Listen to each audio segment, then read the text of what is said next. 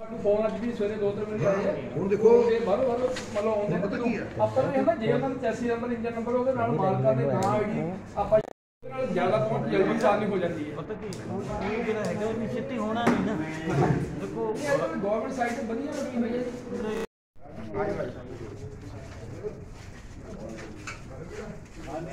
ਹਰਦੇਵ ਥੋੜਾ ਇੱਧਰ ਨੂੰ ਹੋ ਜਾ। ਉਹਨਾਂ ਨੂੰ ਆਣ ਦੇ ਅੱਗੇ।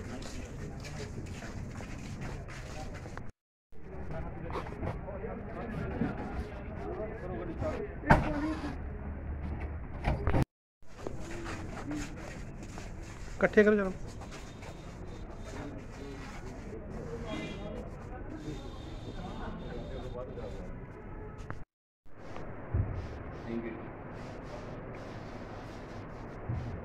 ਓਕੇ ਜੀ ਇੱਕ ਮਿੰਟ। ਵੀਰੇ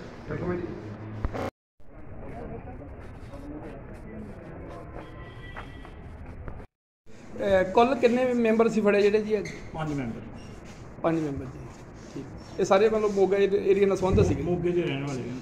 ਕੁਛ ਦੇ ਆਜੋ ਵੀ ਹੌਲੀ ਹੌਲੀ ਸਰ, ਆ ਜਾਓ। ਇੱਕ ਮਿੰਟ। ਵੀਰੇ ਇੱਕ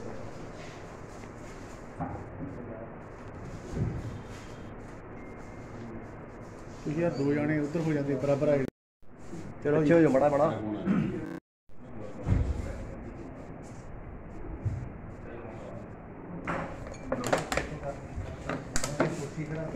ਲੈ ਕੇ ਫਿਰ ਇਹਨਾਂ ਦੀ ਇਨਵੈਸਟੀਗੇਸ਼ਨ ਕਰਾਂਗੇ। ਠੀਕ ਹੈ ਜੀ। ਇਨਫੋਰਮੇਸ਼ਨ ਜਿਹੜੀ ਰਿਮਾਂਡ ਤੋਂ ਪਹਿਲਾਂ ਦੀ ਜੀ ਸਰ।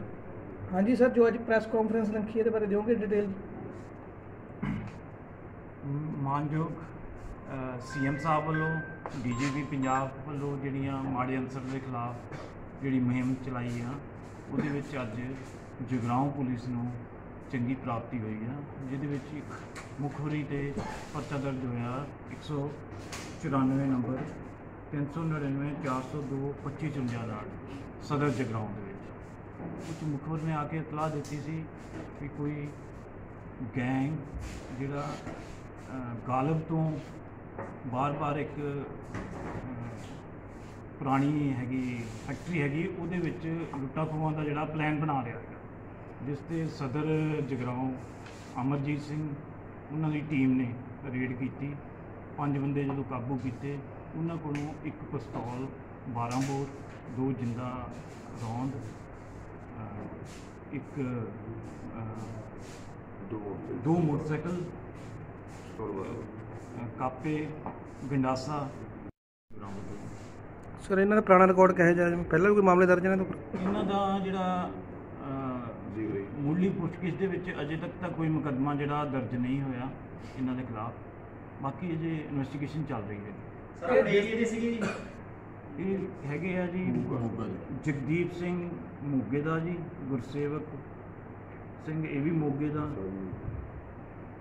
ਚਾਰੇ ਪੰਜੇ ਮੋਗੇ ਦੇ। ਤੇ ਸਰ ਇਹਨਾਂ ਨੇ ਕੋਈ ਮੰਨਿਆ ਕਿ ਕੋਈ ਪਹਿਲਾਂ ਇਦਾਂ ਦੀ ਵਾਰਦਾਤ ਨੂੰ ਜੀ ਇਹਨਾਂ ਤੋਂ ਇੱਕ ਜਿਹੜਾ ਮੋਟਰਸਾਈਕਲ ਆ ਜਿਹੜਾ ਆਲਰੇਡੀ ਸਿਟੀ ਥਾਣੇ ਹੀ ਸਾਡੇ ਚੋਰੀ ਹੋਇਆ ਸੀਗਾ ਇੱਕ ਮੋਟਰਸਾਈਕਲ ਤਾਂ ਉਹ ਜੀ ਮਿਲਿਆ। ਇਹਨਾਂ ਦਾ ਜਿਹੜਾ ਦੇਸੀ ਕੱਟਾ ਬਰਾਮਦ ਹੋਇਆ ਜੀ ਇਹ ਕਿੱਥੋਂ ਲੈ ਕੇ ਆਇਆ ਸੀਗਾ ਬੰਦਾ ਉਹ ਤੁਸੀਂ ਅਰੈਸਟ ਕੀਤਾ ਕੋਈ ਜਿਹੜਾ ਜਿਸ ਅਹ, ਕੱਟਾ ਮਿਲਿਆ ਵਾ ਉਹਦੇ ਲਈ ਜੀ ਸਾਡੀ ਪੁੱਛਗਿੱਛ ਚੱਲ ਰਹੀ ਹੈ ਰਿਮਾਂਡ ਲੈ ਕੇ ਫਿਰ ਅੱਗੇ ਜਿੱਥੋਂ ਲੈ ਕੇ ਆਏ ਆ ਫਿਰ ਉਹਨੂੰ ਉਹਨੂੰ ਠੀਕ ਹੈ ਜੀ ਤੁਸੀਂ ਸਰ ਕਹਿ ਰਹੇ ਸੀ ਨਾ ਪਹਿਲਾਂ